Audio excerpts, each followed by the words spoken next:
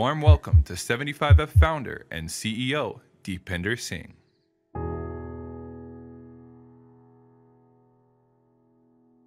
Hi, everybody. Thanks for joining us today.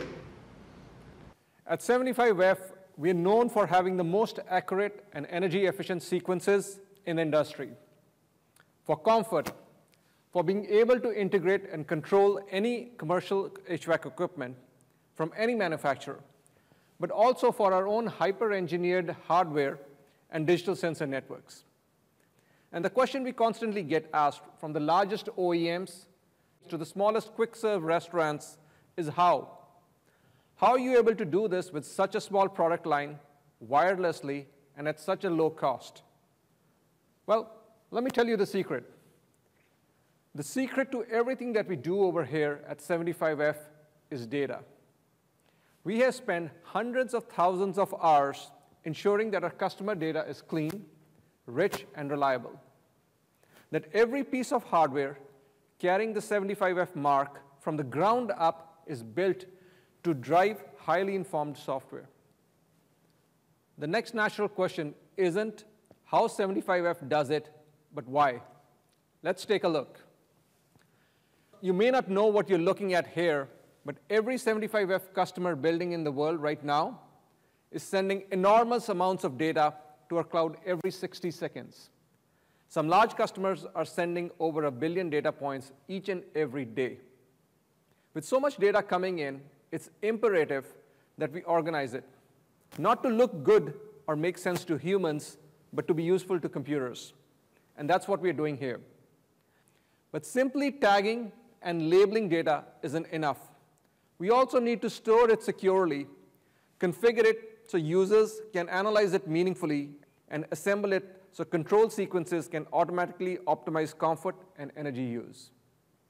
To accomplish this, our system creates a digital twin for every customer of every size at no additional cost, completely out of the box. In most organizations, creating these digital twins model is a manual process. And in this industry, manual really translates into inconsistent. What a nightmare for computers. That's why we built Hayloft, the industry's only open source repository for digital twins, and released it for free to the development community so their customers can benefit from it too. I keep bringing up this concept of data that is good for computers. That's because the future of smart buildings is less about data Data itself adds no value to anyone. It's more about how buildings will use technology to adapt and respond to their owners and occupants. And as we have all learned this year, AIs will only ever be as smart or trustworthy as the data that they use. The data that we use at 75F is very smart and accurate indeed. So is your building. Beginning today, 75F customers can join a beta program for the first AI platform for buildings, Saffron AI.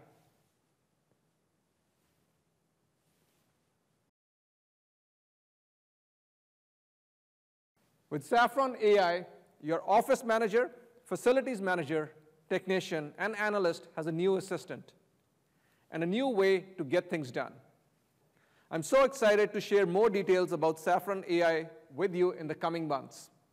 But today, I want to show you what it means. This venture of ours is deeply profound. We're moving away from the internet-based interaction that often raised eyebrows about the direction that AI is taking. This is about employing technology to make our buildings work in service of us, to deliver answers built on trust, to put the human at the center. Let me be clear Saffron AI is for people, and we can't wait to show you what meaningful AI in buildings looks like. I'm going to ask David to join me on stage.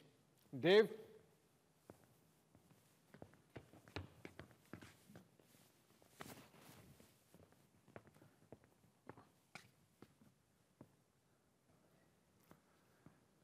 Thank you, Deep. Thank you, everyone. I'm going to log in here in a second and attempt to show you for the first time what talking directly to your building looks like, feels like. The office I'm going to use is our 75F office for reasons that will become clear. But what you're about to see is what any facility manager or tenant, any owner or service manager will soon be able to experience.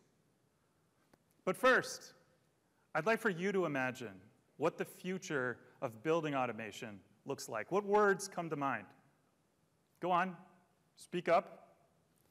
Intelligent? Yes. Powerful? Connected? Grid, grid connected. Efficient? Yes.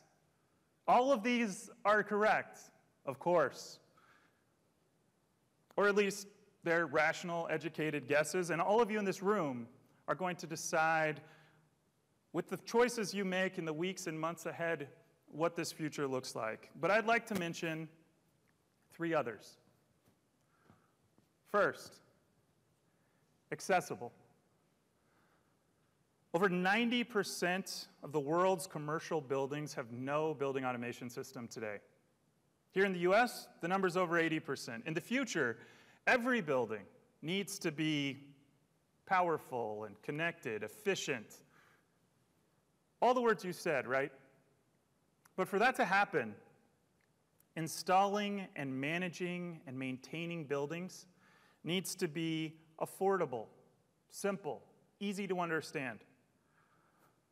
That's why 75F automates buildings from a few hundred to millions of square feet.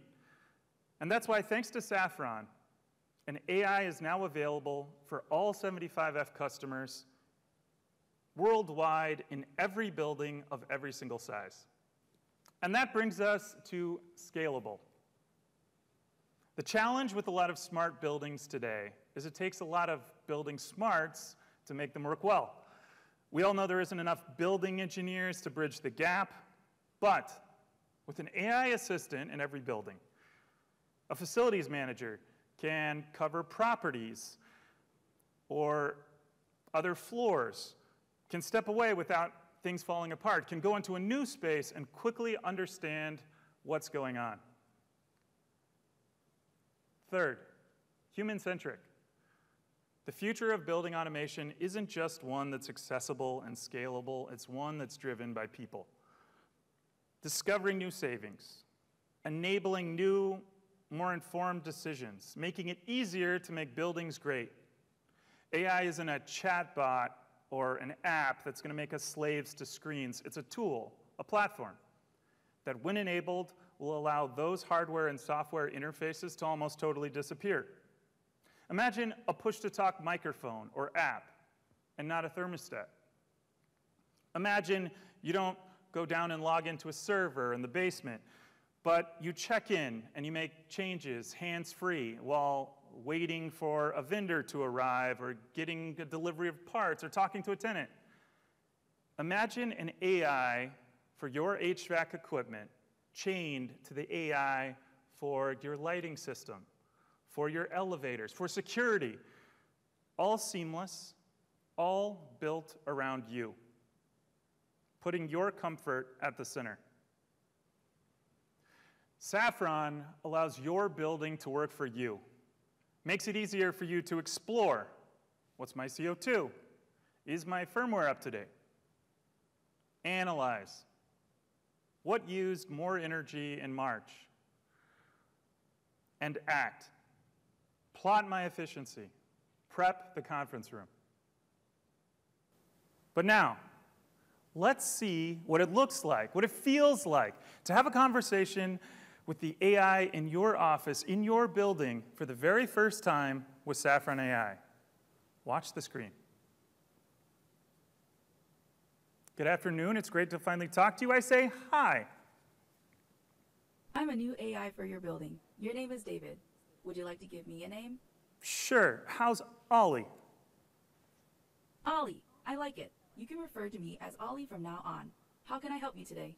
Is there an air quality alert tomorrow? No, but the outside air quality index here is expected to rise slightly to an AQI of 45. This may be cause for concern. Do you want to see or track current PM 2.5 indoor air quality? No, Ollie. Tell me if any zones go above recommended levels. I'll create an IAQ alert for you tomorrow. Is this correct? Yes, thanks. Yes, incredible, right? But I know what you're thinking. This isn't real, right? This is just you playing a video. wait one second. Let me share my screen. On the right, you'll see that this is the exact conversation I had with the AI in our building, Ollie, just a few days ago. This isn't something that's years from now or even months from now. This is the future of control today, live, right in Facilisight, 75F secure and roles-based platform. What you see is running off the real-time data stream and digital twin for our building, for our office, and in thousands of other buildings, from quick-serve restaurants to sprawling campuses. So now, let's make the future of control real, right? Uh, I'm going to just type in here, and I'm going to ask a question. Um, I'm going to type, what's the IAQ right now?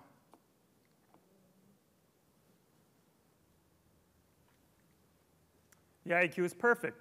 CO2 level is 651 parts per million. The building's comfort score is 97 out of 100. The AQI is 24, which is good, yeah. Um, I'll try, what's the occupancy of the seventh floor? What is the occupancy of the second floor?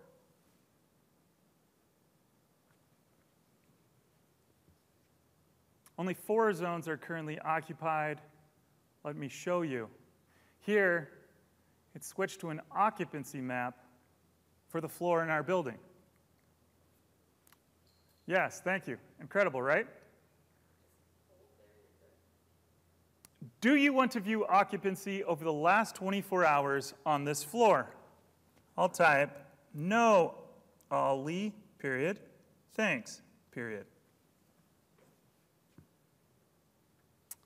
All right. The AI in this building, what you just saw, we're not just predicting building use and preconditioning to save energy, we're predicting what I, the human in this case, might find useful, right? In other words, it's trying to help. Many competitors will talk about cleaning and enriching data, about the training time of differential AI or AI on the edge, but I'm going to leave this site right now, and I'm going to access the AI for the first time in a completely different building. Let me do that for you here.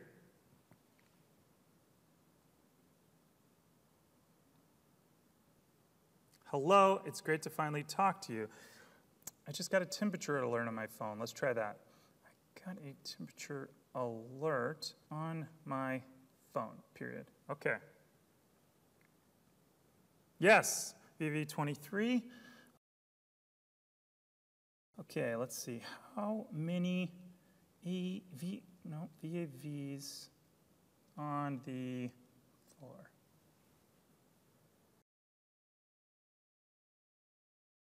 Fifty-four VAVs. Okay, that's quite a few. Where is the bad one? Yeah, why not? VV23 is in the northeast corner of the building. Okay, that helps. What do you think is wrong or what's happening? Question mark. It's probable that the reheat valve is stuck. A discharge air temperature sensor is at 66.23, but reheat command is set to 100. Yes, right? So this might indicate a reheat valve failure, of course. So I'm going to write show me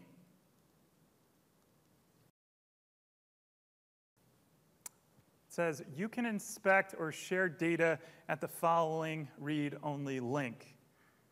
Incredible, right? So here is this other building, not Ollie, not able to access any of Ollie's building data. but also powered by 75F and Saffron AI, giving me real time access to data from any piece of equipment in my building, connected in Facilisight. It's read only. So I could share this with a technician or supervisor that isn't on site right now, or maybe doesn't have access. And I could do it without the risk of creating pain, of sharing passwords, of building a new user in the system. Service teams will save truck rolls. Crews will have the right equipment. Starting today, your building intelligence will help people be more intelligent. That's our future of control. Fundamental to that, though, is communication. Not just communication as siloed as your data used to be, but communication in every language somebody walking through your doors might know. For this, I'm going to get a new building over here, and I'm also going to get someone who knows a lot about languages. Please welcome to the stage John.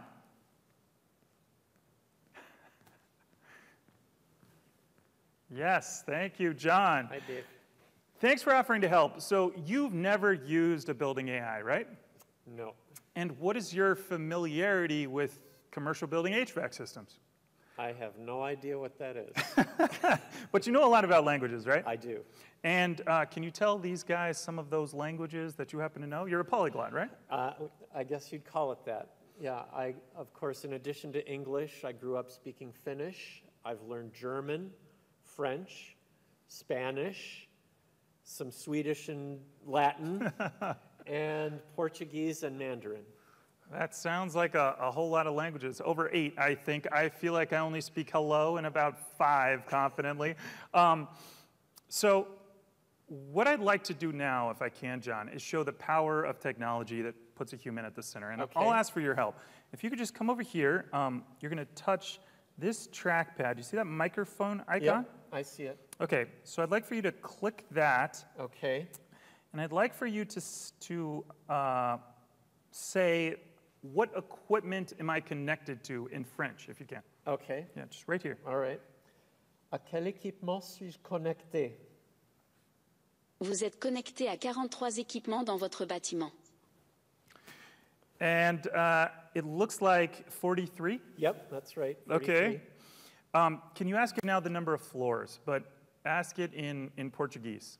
Ok. O meu prédio tem quantos andares? Em seu edificio, a UM total de tres andares. Awesome. I, I see a three there. Yep. But if I was a tenant, an installer, a facilities engineer, say from Brazil, and I was more comfortable in a language other than English, like you, we could keep going. But let's change this up. I'd like you to show how these technologies can speak to each user, not just in their native tongue, but in the way that they want to be spoken to. Okay. Can you ask it to speak deferentially to you now, um, but in Mandarin? Do you know that word, deferentially? Okay. Yeah, deferentially. Okay. 你能跟我恭敬的说话吗？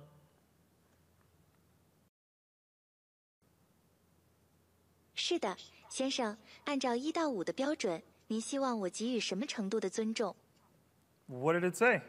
Uh, well, it, it definitely can, but I need to pick the level of deferential on a scale of one to five. Uh huh. So, I'd like for you to choose five, but do it in German, and then say, um, say, what's wrong with my building? Can you do that? Oh, okay. Nummer fünf. Und was stimmt mit meinem Gebäude nicht?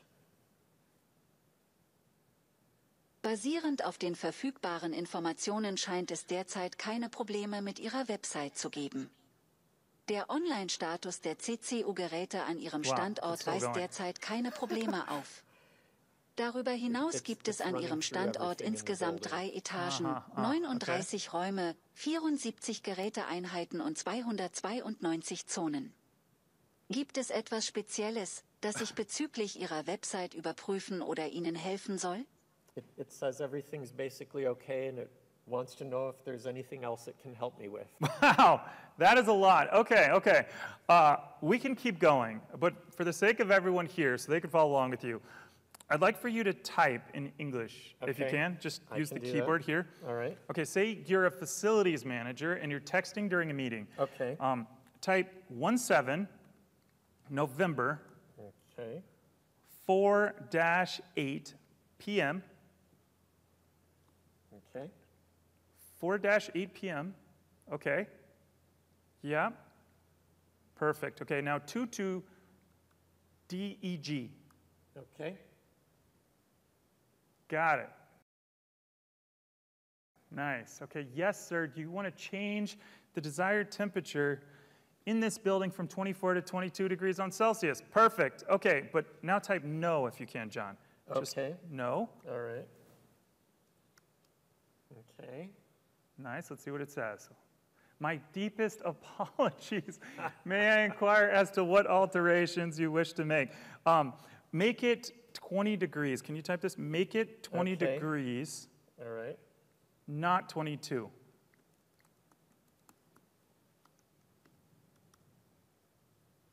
Yeah, okay, nice. Perfect, let's see. Absolutely, sir, your command is my utmost priority. Wow, uh, the very talented and now very expert at building automation, John. Thank you so much again, John. Thank you, Thank you, thank you, everyone. Let's give him a round of applause. Yes. Yes, amazing. Amazing. And with that, now I'd like to introduce you to the head of the AI program here at 75F, the man responsible for everything you just saw, Madhu.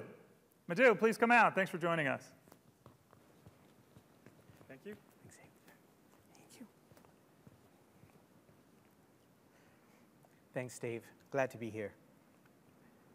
I want to start out by saying not too long ago, we were amazed that we could control the world around us by clicking a mouse or tapping a screen. This is particularly true in commercial buildings where tech hasn't caught up just yet.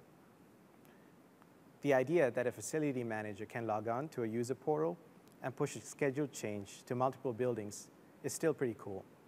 But today, I want to ask you to think beyond that idea. What comes next? We built Saffron AI to make complicated facets of facility management easier. And as Dave just showed you, I think we're close. Now, instead of searching support centers for reminders on how to adjust set points or what have you, you can just ask your building for help. And yet, we think even that isn't completely the answer to what's next. We believe that eventually the BMS user interface as we know it today will disappear. Let me show you what I mean.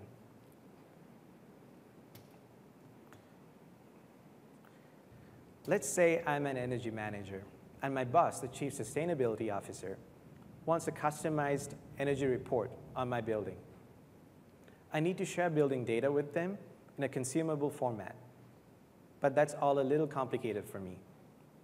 Let's draw it out and see if the AI in our building can help.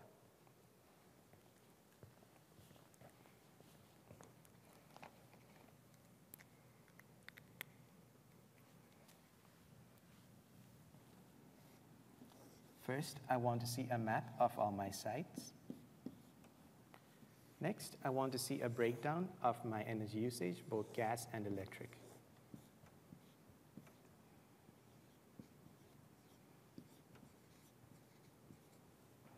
Next, I want to see the average energy usage in electricity.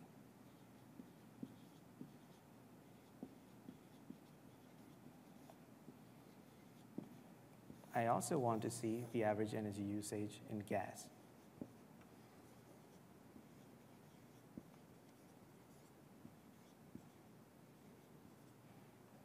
Lastly, I want to also compare the average energy used every week between this month and last month.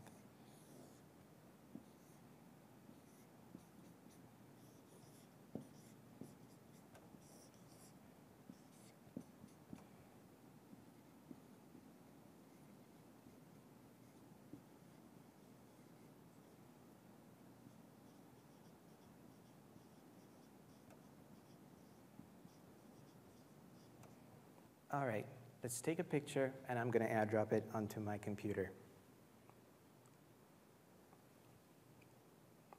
To airdrop this onto my computer.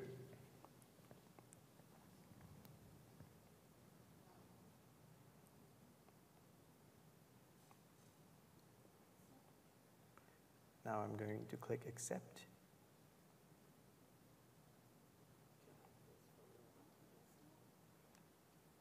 Going to drag this photo onto my desktop. I'm now going to open Portfolio Analytics Manager and drag and drop this image onto our AI chat.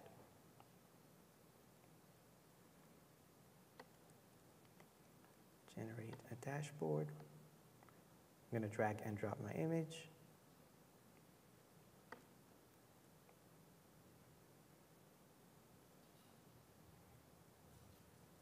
It's thinking.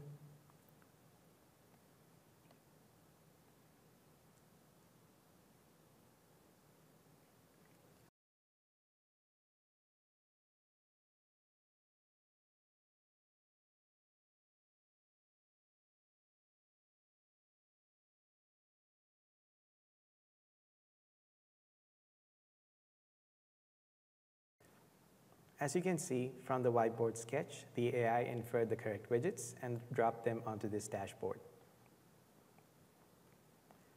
Building analytics and reporting is only as accurate as the data or as consistent as the analyst. Saffron not only executes complex software workflows via a natural language interface, but it can see and understand how to turn sketches into shareable summaries. I'd now like to introduce Bob, from 75F to talk about the features of this AI platform. Bob?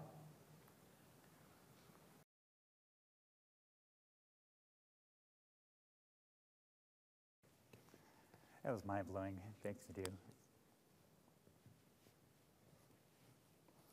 Okay, everyone, there's been a ton of information that has been conveyed today, but I'm here just to kind of quickly cover the features of the uh, Saffron AI, AI platform and kind of give you some of the business values that are associated with them. So let's start off with those. Human in the loop is the first one. Now, contrary to way you may be thinking about AI, it's not to put you out of the loop, it's to put you in the loop. It is human centric and it is for humans. And it makes things faster and easier for you to do your job. Built in AI limits and handoffs. Now, you've probably used ChatGPT and maybe some other AIs, and what you found is that when they're talking about things that are on the web, um, they are very confident in lying to you. And that's because there's a lot of garbage on the web, right? So we avoid that completely by putting strict limits on what our AI is trained to do. We talked earlier about how clean the data is. When the data is clean, you'll get the truth. An auditable digital footprint. So sometimes when things don't go right, sometimes things might have proceeded in a little bit different way than you expected. What you need is an audit log, right? To go back in time and take a look at what happened. And of course, with Saffron AI, that's all built in. Zero training and compiling. Now, there was a party trick that was shown to you earlier today where Dave showed you about how an AI gave some answers on one building then he switched over to another building and got similar performance. That means that there was no training and no compiling necessary, and that all becomes possible because of the data and the cleanliness of data that Hayloft represents. Lower barriers to building expertise. So you could be an experienced facility manager, but your responsibilities have grown. You have way more buildings than you've ever had. Or you could be walking into your building and not a facilities manager, but you're still responsible for it. Either way, uh, Saffron AI is going to help you along the way. Nowadays, it's very common that folks are responsible for managing their building, but they might just be an office manager, right? So Saffron AI enables everyone to get control of their buildings. AI-enabled master BMS. Now, if you've heard the term master systems integration, and you have a portfolio, you're probably familiar with very large invoices. That's because the process for bringing multiple buildings together into a single user interface is extremely laborious. But not so with Hayloft and Saffron AI. you get access to an entire portfolio because of those clean data sets, and it makes that whole promise of portfolio-wide management possible. Fluent in 50 languages. So we have Facilisight, it's in English. We've been teaching people how to, how to use Facilisight, and we wish that we could localize it. We're operating in 15 different countries around the world. We haven't had time to do all that translation yet. But now with Saffron AI, that translation isn't even necessary anymore. Invest in a zero interface BMS. Have you ever heard that term? So we spent a lot of time training. I personally have met and talked with a lot of you in the past, um, teaching you how to use and make, manage your buildings with Facilisight. What if there was no interface at all? All you had to do is be able to articulate your need or articulate your problem or articulate your command in English or whatever language you choose, and that's what happens for you. That's what uh, the promise of Saffron AI is, the zero interface BMS. And whiteboard to dashboard. I am still amazed at what Madhu did just a minute ago. I've built a lot of dashboards for my customers over time. We take the time to figure out what the query should be, um, but just doing it on the whiteboard and having it show up on the dashboard is, is magic and track problems before they occur. So this is all about saving time and money, right? We're talking about trust, we're talking about accuracy, and this is all coming from clean data. Um, that is uh, what our promise is with Saffron AI. Turn agents into actions. This is not a chatbot, right? You're not just having a conversation. You're actually accomplishing things. You're actually managing your building. You're optimizing. You're supporting. And you're controlling your building through the AI. Uh, during the course of this webcast, a bunch of questions have been coming in. They've been coming from the audience here. They've been coming from our online audience. Uh, Kelly in the studio has been uh, figuring out which ones are the best ones to be asking today. Uh, so let's, uh, let's hear a few of those. Now, I'm not going to have time to answer all the questions. I've already been forewarned, but don't worry. Uh, during the follow up, we'll answer all the questions that have come in. So look for an email follow up with that. Kelly, can you start me off with the first one? Hi, Bob. Yes. Okay. So the first question is When is this available? When is this available? So, um, starting right now, select customers will be available for our beta program. Uh, so that's now. Uh, please get a hold of your territory sales manager and let them know that you're interested in joining our beta program, and we'll get started. Okay, question number two. Um, looks like, oh, this is nice. This looks great. I am imagining how to sell this to our building owners group. I already have thermostats though. Do I need to have 75F? So the good news is that you don't have to have 75F hardware in your building, but you do have to have Facilisight. That means that we have a data pump or um, some other type of uh, equipment that is integrating your building into Facilisight. So all customers that are using Facilisight are eligible for Saffron AI. Nice. Okay, third question. How much does this cost? All right, so the good news is that this is included in your Building Intelligence Optimization Service, your, your BIOS annual fees. And that is going to hold true through the entirety of our beta program. Looks like we only have time for one more question, but this is a good one. Doesn't this just replace the facility manager?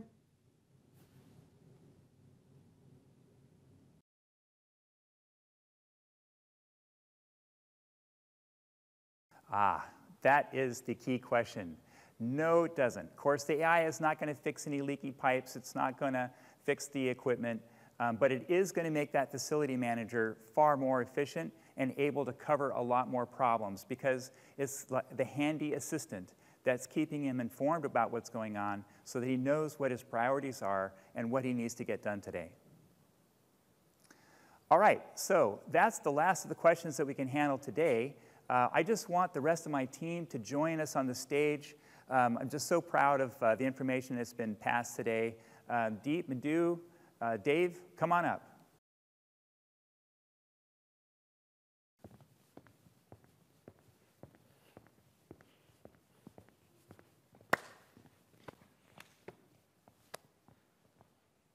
Thank you everyone for coming over here.